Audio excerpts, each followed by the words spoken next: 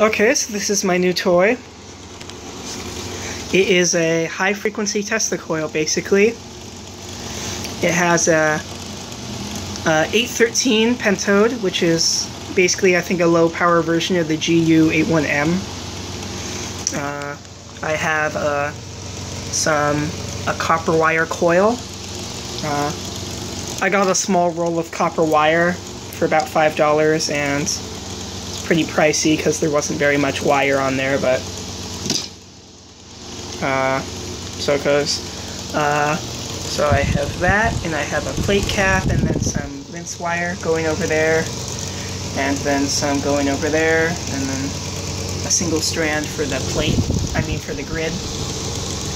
Now, the grid, the grid hookup is kind of weird. I have the bottom of the coil going through those capacitors directly to and then from the grid to ground, I have these three power resistors.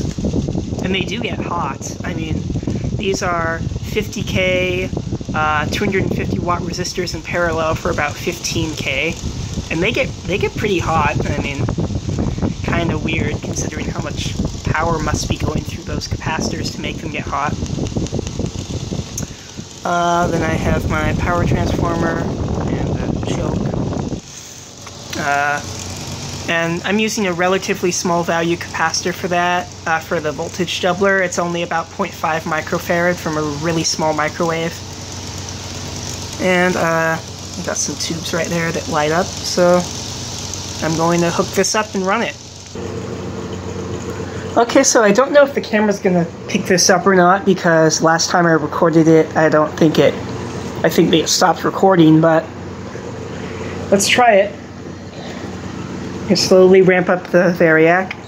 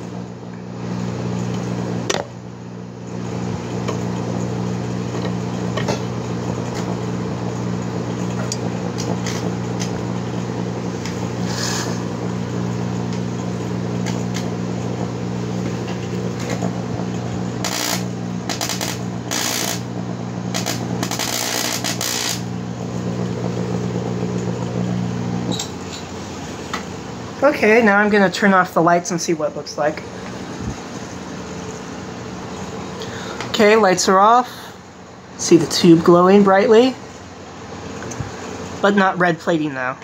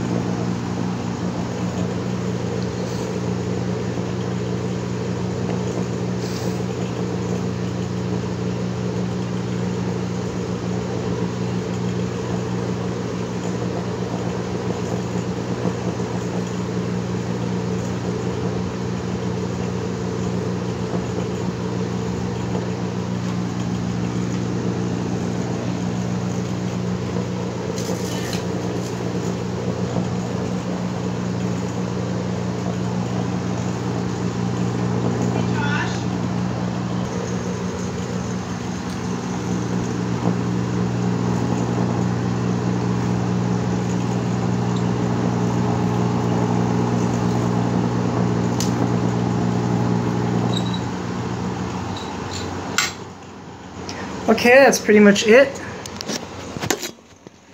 I will post a link to another video in the description with the schematic.